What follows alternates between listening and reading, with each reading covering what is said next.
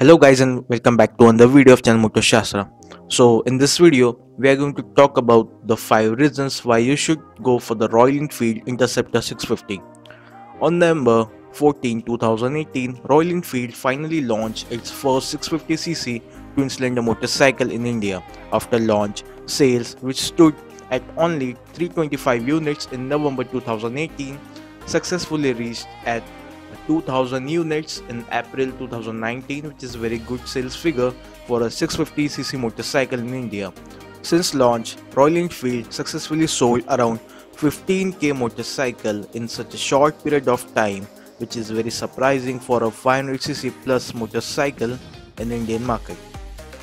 So starting with the first point, the price of this motorcycle. The on-road price is around rupees 3 lakh which is very promising and less compared to the another 650cc motorcycle in the market. The Harley Davidson Street 750 on-road price is around 5 lakh and the Triumph Street Twin on-road price is around 8 lakh rupees but it is a 900cc motorcycle. Royal Enfield Interceptor 650 stands apart from all of these motorcycles because of the brand name and the service which is easily available in many big and small cities of India. Second is the all-new 650cc twin-cylinder engine. It was in 2017 when Royal Enfield unveiled the 650cc engine in Milan Motorcycle Show. The engine was developed at the new UK Technical Centre along with the massive international team as well as back in India in Chennai. Talking about the engine specs, it is a 648cc twin-cylinder engine with single overhead camshafts. Produces 47 PS of power on 7250 rpm with 52 Nm of torque at 550 rpm. There are 4 valves for each cylinder with Bosch injection fueling system.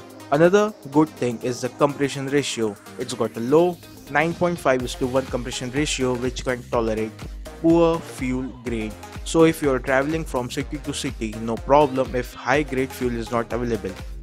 There is also a slipper clutch with 6 speed manual transmission for higher performance. For cooling purpose, oil cooler is placed on the frame down tubes. The engine is very smooth with a little amount of vibrations on high RPMs. The third point is the exhaust note of this motorcycle. Royal Enfield always known for its bullet thumping sound but on this motorcycle they have nailed it with a dual exhaust pipes. There is some mixed opinion on the exhaust note of this motorcycle but it sounds very throaty and it's got a bass. This is because of the firing interval of both cylinders. Fourth point is the modifications. Yes, uh, when you are getting a 650cc motorcycle for only 3 lakh rupees, there is some margin left for the modifications on your motorcycle. The plus point is that many aftermarket accessories are available at a reasonable price for this particular motorcycle, especially the exhaust pipes. Fifth and the most important point, the service cost and the resale value of motorcycle.